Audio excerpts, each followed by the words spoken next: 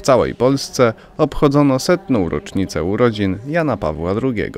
Pamięć o polskim papieżu pielęgnowali również mieszkańcy osiedla Zakrzów podczas uroczystej mszy świętej. 18 maja 1920 roku w Wadowicach na świat przyszedł Karol Wojtyła, późniejszy papież Jan Paweł II. Dla wielu Polaków jego postać jest symbolem wielkiej wiary, nadziei i miłości.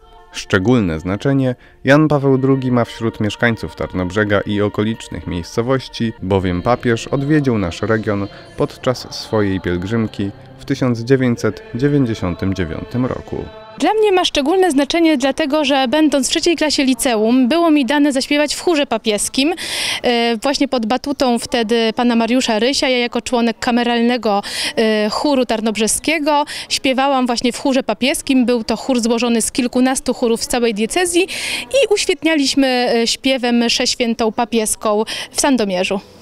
O tym, jak ważną postacią dla mieszkańców Zakrzowa jest Jan Paweł II, stanowią wyjątkowe atrybuty znajdujące się w kościele pod wezwaniem nawiedzenia Najświętszej Marii Panny. W naszym kościele znajdują się relikwie z krwi Jana Pawła II.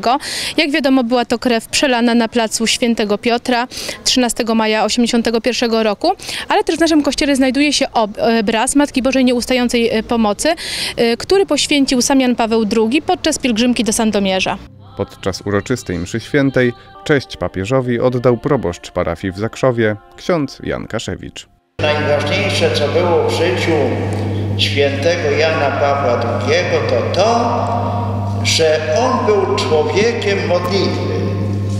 Modlitwa w jego życiu była najważniejsza.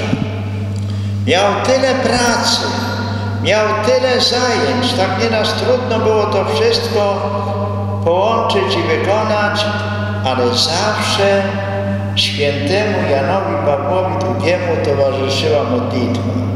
Tuż po mszy świętej obok kościoła zasadzono symboliczny dąb pamięci o imieniu Jan Paweł.